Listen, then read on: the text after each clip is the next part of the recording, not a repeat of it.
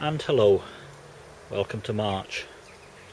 March the 3rd 2013 1325 Greenwich Mean Time. And according to our meteorologists this is spring. Grey sky there. And grey sky there.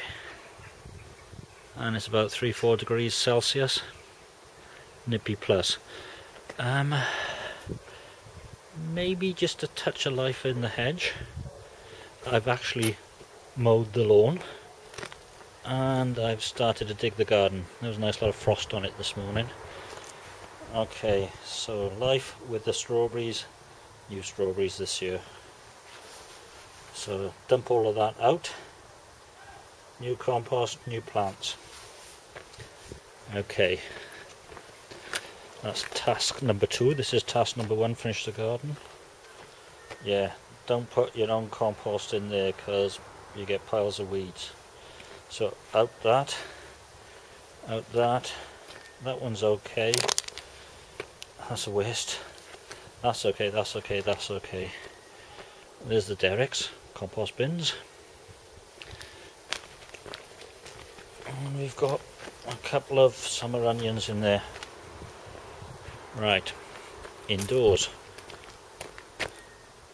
for the chitting. Oh yeah, forgot to mention.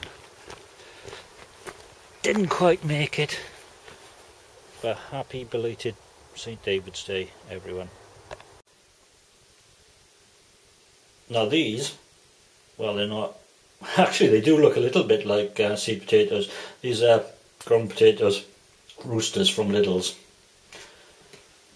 Desirees, Red Duke of York, more Desirees as per last month. And we do, uh, the eyes are slowly, although more so on the earlies coming through.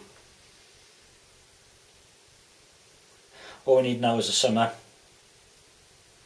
I'll be eating those like the wind. And well, I fed these and there is a bit of sunlight around, although not today. So my um, spring onions in spring are coming along. Red spring onions, by the way.